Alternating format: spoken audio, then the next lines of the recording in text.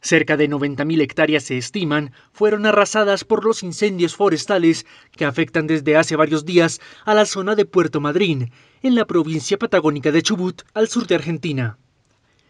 El fuego inició al oeste de la Ruta Nacional 3 y tomó rumbo hacia el istmo Carlos Amellino, donde se encuentra actualmente. La situación hizo necesario evacuar la población de Puerto Pirámides.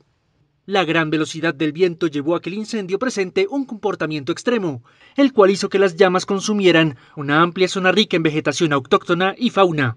Así lo reflejaron varias imágenes en redes sociales donde se apreciaban decenas de animales muertos.